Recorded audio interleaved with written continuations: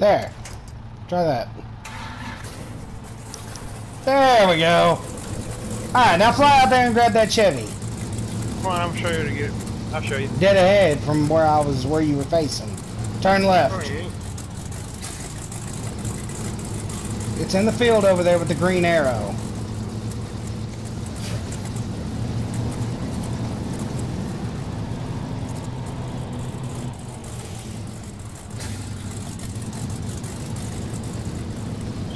Off.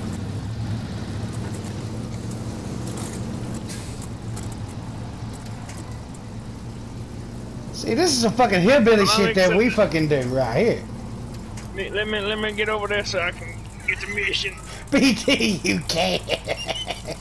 I gotta get the mission. Hey, that's all. oh, Activate the winch. Winchy meddler. Hmm.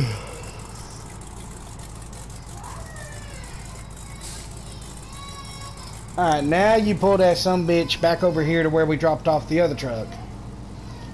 And then that's truck number two of his, and that's another nice little payday. Hey owner.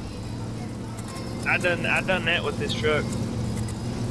He's making it look so goddamn easy. With his fucking 5.3 LS swamp fucking doom buggy. That's that's technically it. You ought to hear the damn thing.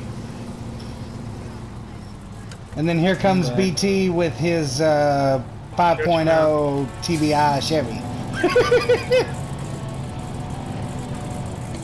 I'm buying that thing when I get the money. So All money I got. You, do you did. start it, you start it. Every time you do a mission, it activates it for I got all of us. thousand dollars. I need ten thousand. I'm buying that truck. Alright. Wonder if I can steal a trailer. Possibly. Well, I, if I can steal a truck, They're part of a mission. The actual vehicles to find in the game, you can find the International Scout and the Kodiak C70 on this map. I don't even use the GMC flatbed. I'm thinking about selling it.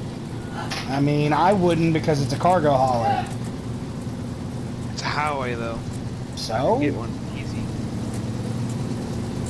How much is he even sell for? Thirty-four thousand dollars. Yeah, it sells for 34000 I'm gonna sell it. I can always buy a new one.